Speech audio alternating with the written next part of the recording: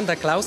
Jest to akcja, e, która jest skierowana do e, dzieci, e, do rodzeństw dzieci onkologicznych oraz rodzeństw, które straciły brata lub siostrę. Jest to już trzeci raz, gdy ją zorganizowaliśmy i jesteśmy właśnie tutaj w pięknym miejscu w samym centrum Poznania. E, W tym roku mamy e, rekordową liczbę listów, bo dzieciaki napisały e, do nas około 220 listów.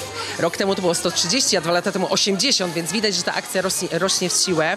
Dzieci napisały listy, my znaleźliśmy darczyńców, którzy te listy zrealizowali i wysłali nam paczki i dzisiaj wszyscy przepakowujemy te paczki, sprawdzamy, czy wszystko się zgadza i adresujemy je i pakujemy do wysyłki. Więc dzisiaj jest taki wielki finał, gdzie właśnie wolontariusze od rana do wieczora pakują te paczki. Już drugi raz biorę udział e, w tym naszym Panda Klausie, ale pierwszy raz biorę udział jako osoba, która realizuje list i szczerze powiem, że są to większe emocje e, niż samo pakowanie na finale, dlatego że taka radość jest, że można spełnić czyjeś marzenie i stać się tym naszym pandowym Mikołajem właśnie.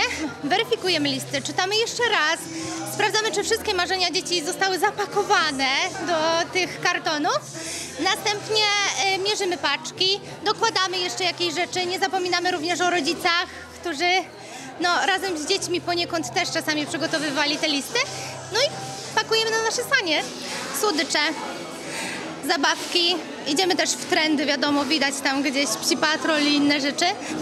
Ale jednak najbardziej wzrusza nas ta, ta treść, że no nie możemy dać wszystkiego po prostu. To są często marzenia, których my nie potrafimy zrealizować, bo nie zapakujemy zdrowia i nie przywrócimy życia kochanego brata lub siostry. E, możemy spełnić tylko te marzenia materialne tak naprawdę.